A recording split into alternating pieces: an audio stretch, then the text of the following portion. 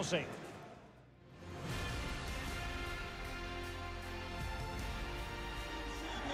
the weather is absolutely perfect here at the home of Tottenham Hotspur in London. I'm Derek Ray, and I'm joined here on the gantry for commentary by Stuart Robson. I'm looking forward to bringing you action from the Premier League coming right up. It is Tottenham Hotspur taking on Chelsea. Thanks, Derek. Well, both managers will be reminding their players of starting the game quickly, hitting the opposition back, playing the ball forward and regaining possession as quickly as possible. Hopefully we get a really good game here. Lucas Moura. Number 10, Harry Kane. And number 7, Son.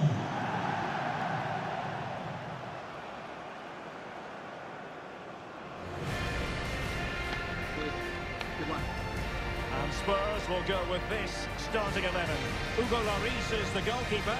Lucas plays with Heung-Min Son out wide. And the centrepiece of the attack today is Harry Kane.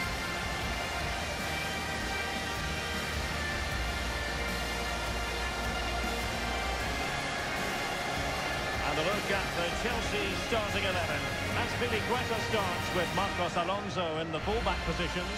N'Golo Kanté starts alongside Jorginho in the centre of midfield. And operating in attack today is Romelu Lukaku.